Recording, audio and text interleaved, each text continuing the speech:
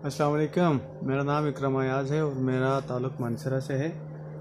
Birds पफ़ा मेरे page का नाम है बर्ड्स पफ़ा तो मैं फ़ेसबुक पे एक दिन वैसे ही चेक कर रहा था तो मेरे सामने ए एन एच फोनों के इनक्यूबेटर्स आए। तो मुझे काफ़ी पसंद आया। ठीक है, बाहर से लुक जो है इसकी, वो तो बहुत ज़बरदस्त है। ठीक है लुक देख के पसंद आया, फिर मेरी अली भाई से बात हुई। माशाल्लाह, बहुत अच्छे इंसान है। ठीक है, बहुत तरीके से बात करते हैं आपके साथ, बहुत अच्छी तरह आपको गाइड करेंगे। और बहुत ही ज़बरदस्त इंसान है जी।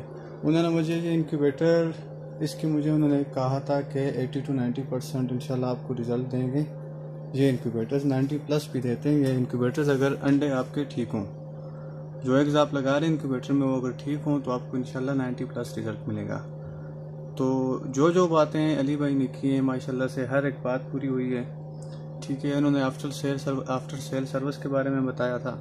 मैंने देखा था यूट्यूब पे कि आफ्टर सेल सर्विस इनकी अच्छी है, बहुत अच्छी है। और वाकई में बहुत अच्छी है आफ्टर सेल सर्विस आपको जब भी किसी चीज़ का भी मसला होता है, कोई भी परेशानी होती है इनक्यूबेटर के हवाले से कंट्रोलर के हवाले से, आपको ये फुली गाइड करेंगे हर तरह से। ठीक है, हर तरह से आपको गाइड करेंगे। और माशाल्लाह से ये देख लें, मेरे पास हैचिंग हुई है। कल रात को मैंने चिक्स निकाल दिए थे तकरीबन। इंक्यूबेटर में मैंने एग्स लगाए थे 528 528 एग्स लगाए थे। 528 एग्स वाला इंक्यूबेटर है। और इसमें मेरे पास 100 एग्स जो थे, वो अनफर्टाइल थे, जो मैंने दूसरे ही हफ़्ते में उठा दिए थे। तो बाकी जो मेरे पास बचते थे, वो 428 एग्स बचते थे।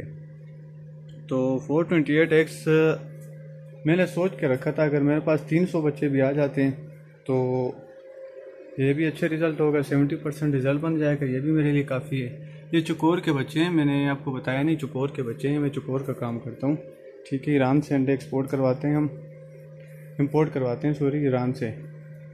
तो फिर यहाँ उनकी हैचिंग करवाते हैं और फिर आगे सेल आउट करते हैं। चिक सेल आउट करते हैं, बड़े भी सेल आउट करते हैं।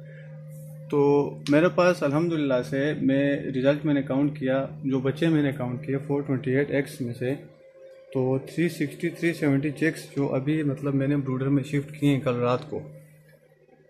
350 राउंड अबाउट 370 ऐसे ही बनते हैं, ठीक है? ये माशाल्लाह 80 से भी प्लस रिज़ल्ट बन रहे हैं मेरे पास।